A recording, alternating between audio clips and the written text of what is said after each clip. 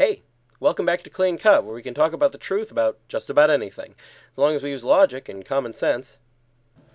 This season, we're talking about the four last things death, judgment, heaven, and hell. Last episode, we talked about how trustworthy the angels and saints are. This time, if you're in heaven or hell, how would you experience time? Would you? The answer to this question will depend on what theory of time you believe in.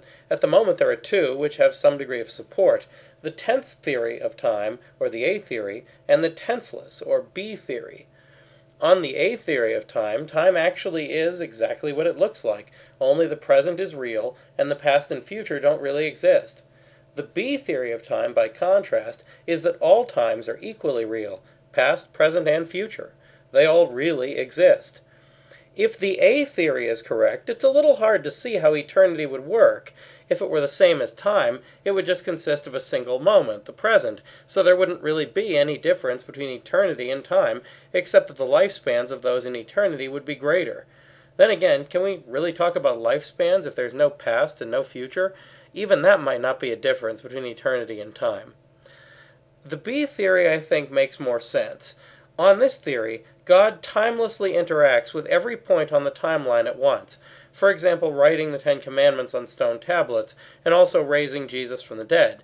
The timelessness of God is the very thing that allows him to exist without requiring a cause of some kind. If God were ever truly temporal, he would need to have a beginning, since time itself had a beginning. Because of this, we can learn a lot about a timeless state of being from observing God. God is totally unchanging, for one thing; his nature always remains precisely the same, as it says, "For I am the Lord, and I change not, and you the sons of Jacob are not consumed."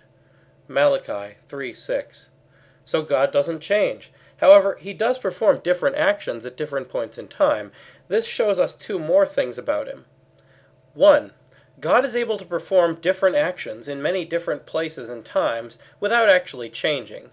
2. God is able to interact with individual points in time despite being timeless.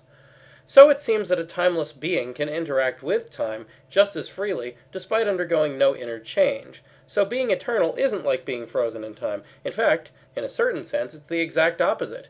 Being frozen in time involves only one moment of time. Being eternal involves all of them.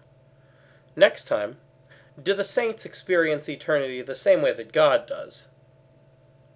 That's all for now, so keep asking questions, and thanks for watching.